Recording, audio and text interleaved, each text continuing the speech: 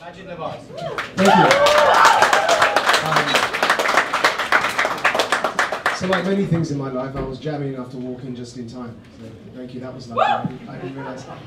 Um, it's a pleasure being here, and I wanted to make sure that I spend some of my Saturday uh, supporting this uh, auspicious event, because I believe events like this are truly historic. You are, all of you who are either uh, part of uh, the effort to normalize the fact that anyone has a right to choose to enter or exit any religion they so choose, and that includes the religion of Islam, not just here in the United Kingdom, but in any country in the world, which by necessity must include my country of origin, Pakistan, and it must include countries such as Iran, and it must include countries such as Saudi Arabia.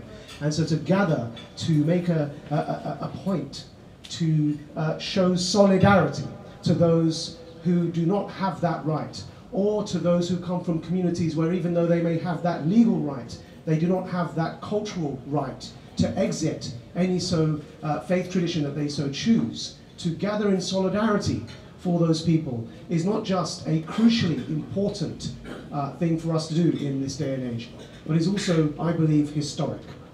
And I believe it is part of the new and nascent zeitgeist. That zeitgeist uh, that I describe as the new and assertive liberal, small L liberal, in my case, big L liberal, which didn't really turn out to uh, with too much success, but definitely small L liberal zeitgeist that emphasizes one crucial universal truth, and that is that human rights cut both ways.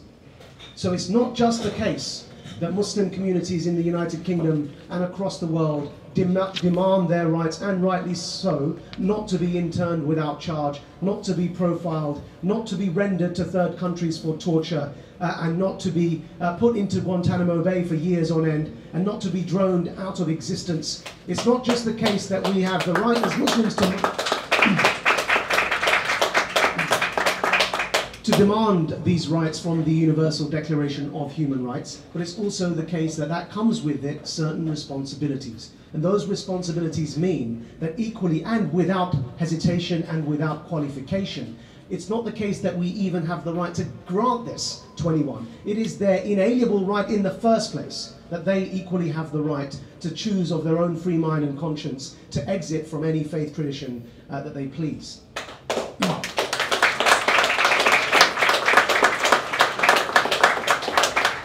That shouldn't be too controversial a thing to say. But as we all know, as indicated by the security at the door and by the fact that the venue location wasn't disclosed in advance, that unfortunately in this day and age, it is something rather controversial to say. And it boggles the mind.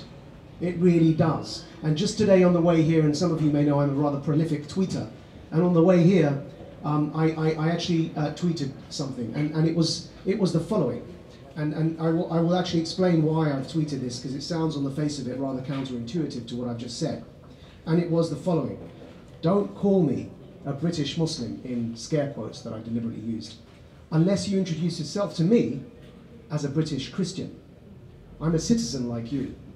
And the reason I wrote that is because the rise of identity politics in this day and age is by and large responsible for some of the uh, cultural denial of the right for people to exit their, so, uh, their communities as they, as they choose. Identity politics has risen to a point where now it's become the norm for people born and raised in this country of any slight hue to their skin color to introduce themselves if they happen to be from a Middle Eastern or South Asian origin as first and foremost British Muslim. Now the difference between black British, Pakistani British, Bangladeshi British and any other form of ethnic or, or, citizenship uh, uh, label attached to the label British, and British Muslim is the following. Being a black British or being a Pakistani British doesn't come with it inherent to it a value system.